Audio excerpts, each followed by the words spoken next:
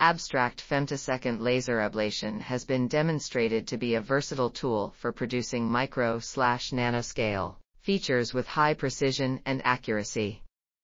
However, when using high laser fluences, unwanted effects such as redeposited debris, recast layers, and heat affected zones may occur.